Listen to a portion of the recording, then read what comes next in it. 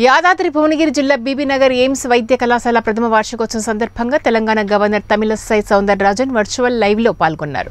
ఈ సందర్భంగా మాట్లాడుతూ వైద్య విద్యార్థులు పేషెంట్ సమస్యలు శ్రద్ధగా వింటే సగం రోగం అర్థమవుతుందని వివరించారు.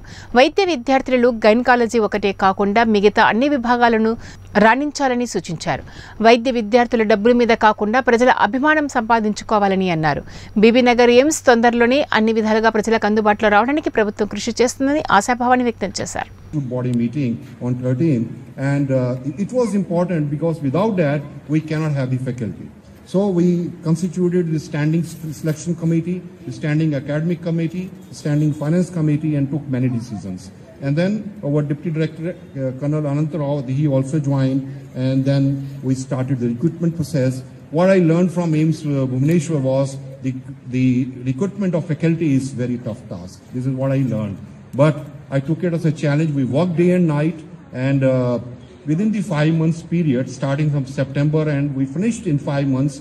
By January end, recruitment of 138 faculty members in 19 departments. It's a great feeling today that today we are 100 faculty members. We have issued a point. and I'm really very happy to participate in your annual day celebrations. Even though I am miles apart, I can visualize the excitement of the students from here. So I congratulate each and everyone and my respects to Dr. My respects to Dr. Neeraj Agarwal, the Dean, All India Institute of Medical Science, Bibinagar, and my respects to Professor N.B. Ramana Rao, Director, All India Institute of Medical Sciences, Bibinagar, and my respects to SP Anant Rao, Deputy Director, Administration, All India Institute of Medical Science, Bibinagar, and my respects to Dr. Madhuri, Additional Professor, All India Institute of Medical Science, Bibin Nagar, and my respects to Srimati Anita Ramachandran IAS, Collector, Yadadri, Bhuvanagiri Districts, and my respects to Dr. Vikas Bhatia, the Executive Director.